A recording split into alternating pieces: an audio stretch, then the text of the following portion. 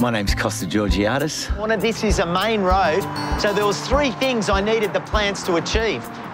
I'm host and presenter on Gardening Australia, landscape architect. Here he's up there with the best of them. Environmental educator. He's waving to the audience. Just lover of the planet, I think.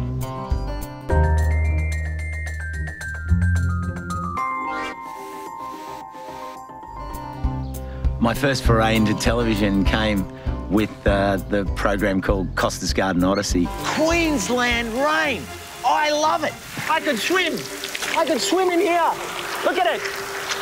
It's draining up against the house. I'm forever indebted to SBS for giving me that that chance because that was like a turning point. That was like, yep, this guy's got no brakes, bald tyres, and I think it works. I was fortunate enough to grow up in Sydney, in North Bondi, with my mum and dad and uh, my two sisters. I'm the youngest of the three. Growing up as a little toddler, we used to come over to my grandparents' place opposite Centennial Park regularly.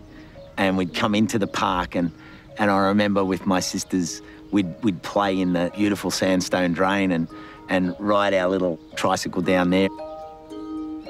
This was the real scary bit when you got to this point because you had to duck down and there'd be spider webs and it was dark. But then you'd get out the other side and think, yes, I did it, and keep going, and keep going. When it comes to gardening, I think my whole family's been an inspiration for me.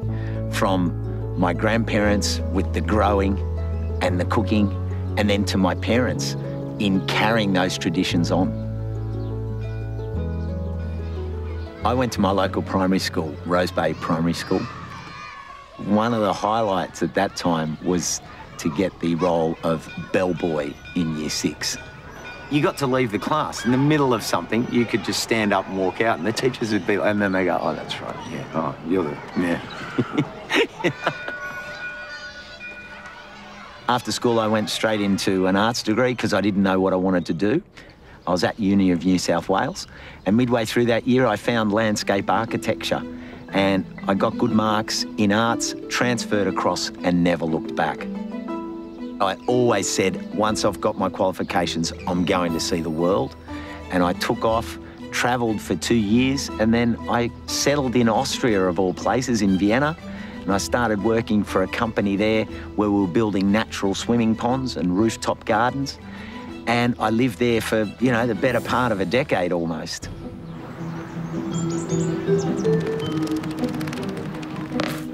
I love sport. I played rugby league in primary school. I played cricket and rugby union in high school.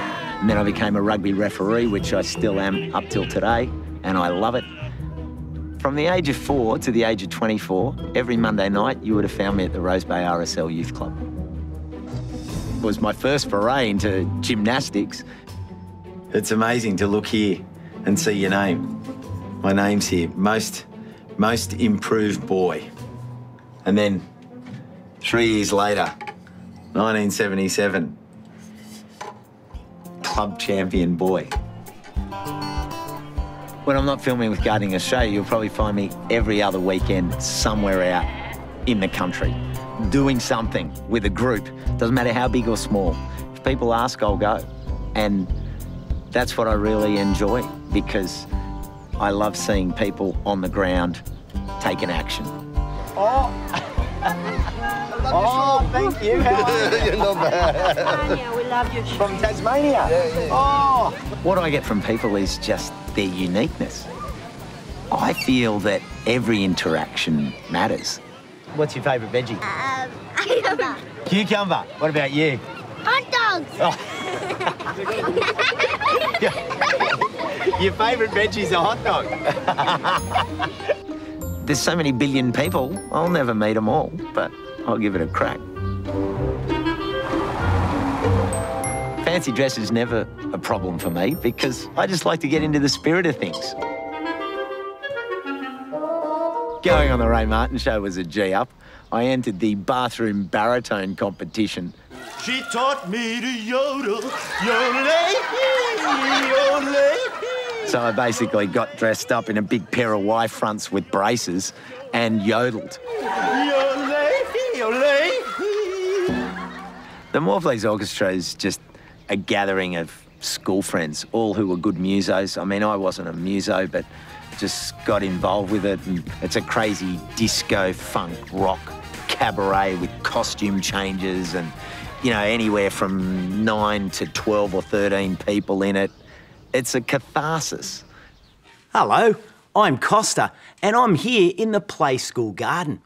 I think one of my proudest performing moments would have to be performing Wiggly Woo on Play School. Wiggly woo, wiggly woo. That's a thing about, that's a song about a worm. And a worm's about building soil. And soil's about growing plants and health and, you know, everything. Do the wiggly woo. Turn your hands round and round. I get adults come up and say, I love your Wiggly Woo. And you just think, yes.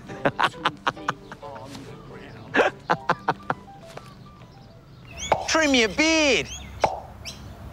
The beard is me. Uh, I, I had the beard long before I got involved with TV, and I'll have it long after my life continues. Uh, it's it's not a fad. It's not a trend. People try and interpret that. You know, I've, I'm hiding something. You know, personally, I've got problems. I've got deep inherent, you know, issues. No, there's no issue. My issue is I hate shaving, so I don't, and that's what you get. But it's a lot of fun.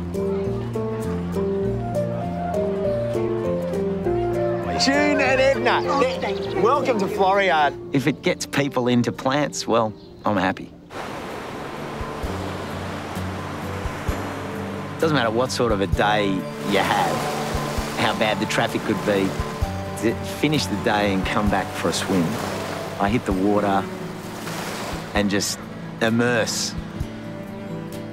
And when you're splashing around out there in the water, you're really just a little speck in space and time on this big planet of ours, which I love, and I got my time here now.